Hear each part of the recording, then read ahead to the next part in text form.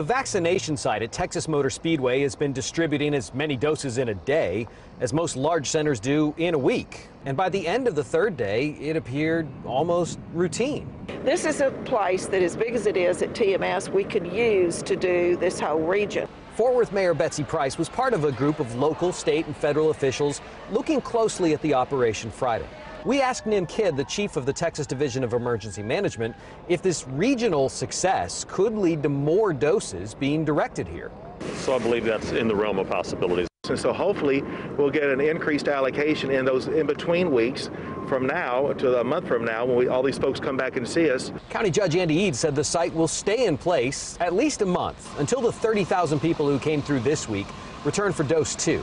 Officials also acknowledge the site doesn't serve every need. Though it's attracted people from other counties and states, not everyone can get to a site like this. So we're all working very hard together to identify the homebound population, those that are 75 and older.